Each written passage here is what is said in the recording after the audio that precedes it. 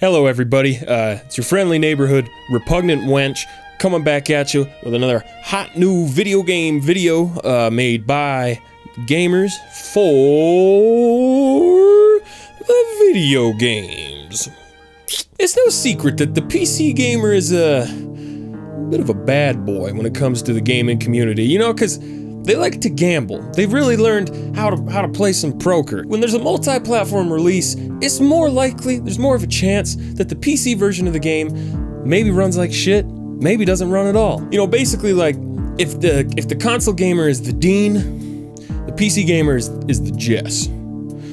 I've been watching a lot of Gilmore Girls. And although there's been a lot of bad PC ports this year, that's not a new thing. Like when Grand Theft Auto 4 came out on PC, even if you had that game hooked up to a Dreamcast inside a DeLorean and it hit 88, that game still ran butt chuggingly fucking slow. One company that has uh, definitely not been afraid to flirt with the idea of launching a broken game is Bethesda. But the thing is, review copies for their games would go out like a week or two before the game came out, so your favorite reviewer, IGN, GameSpot looking ass, would actually have time to play it and let you know before it came out, like, hey, this game has these issues at launch, this game has these weird Bethesda glitches. Which, side note, why does Bethesda always get the slack? Like, you know, even in like IGN or someone in their review, they'll be like, this, this issue and this, they bring it up, but then just like, well, that's to be expected from a Bethesda game. That's still a $60 game. They're still like big ass studio. Like why do they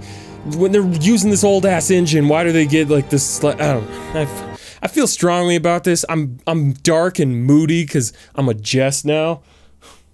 Cuz I got a I got 1070 fight me, come on. But now, Bethesda has hopped on this really shitty trend that's been happening a lot in 2016 where publishers are deciding to not give out review copies until like a day before the game comes out. And in Bethesda's review policy thing, they say something to the extent of, but Doom. We released Doom earlier this year with no uh, review copies going out, like, actually early, and people love Doom. It's a great port, and they're right. Doom is a it's a beautiful game. I really, I really like Doom. But their other reasoning for making this decision is basically it doesn't make a difference if we do it before or not. We want everyone to experience the games at the same time, which is stupidly suspicious when there's pre-order DLC incentives or when you can play the game a day early if you pre-order it, like in the case of Dishonored 2. Now the thing is, I, I expect this kind of shady behavior from someone like EA, challenge everything. But Bethesda is a company I like. Like, yeah, I was, I was bitching about how Jess isn't stoked about the performance of all their, their PC games, but like, I like their games. And one game I really liked that was published by Bethesda was the first Dishonored, and that game ran beautifully on PC. It even ran beautifully on Xbox 360. So I was stoked for Dishonored 2, especially because I just got a new 1070 in the hog. It's all reloaded. I was insanely stoked for it. But when I started reading about like how Bethesda changed their review policy, I started to worry a little bit. And uh, sure enough, runs like shit. On, reportedly on console too. Dean and Jess, they're both fucking pissed. It's disappointing in practice as just like, you shouldn't do that you shouldn't have people pay $60 for your fucking game when it won't even run on a high end rig like my own, where I can barely get 60 FPS, even on medium, just at 1080. Like, that sucks. That super sucks. I mean, that's a given, that that's bullshit.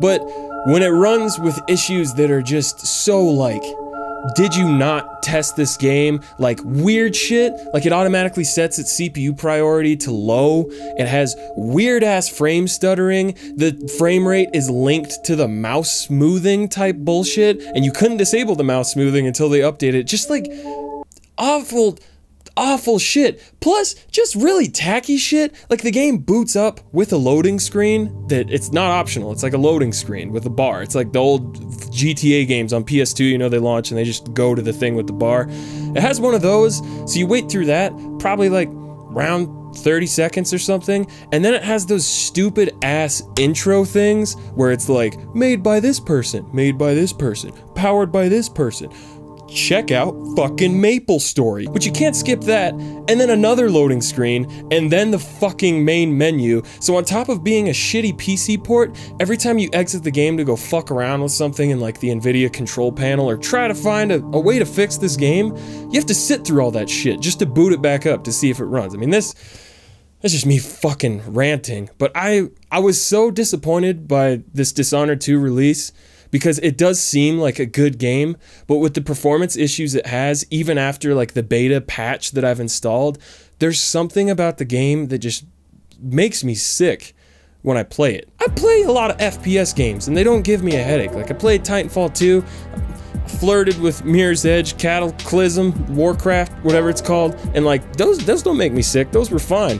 But something about Dishonored 2 just gives me the gnarliest fucking headache. I even like cranked the FOV. Maybe I need to try messing with other stuff. I even tried playing with the controller. Like, it just, it's more disappointing than like Mafia 3 was. Because I was excited for Mafia 3, but I knew there was a chance it was going to be butt shit because it was like a new studio and there's, there's new chance. And I figured they'd like prioritize the console release. But for something like Dishonored 2, where the first game ran so good on the PC and it was such a polished package.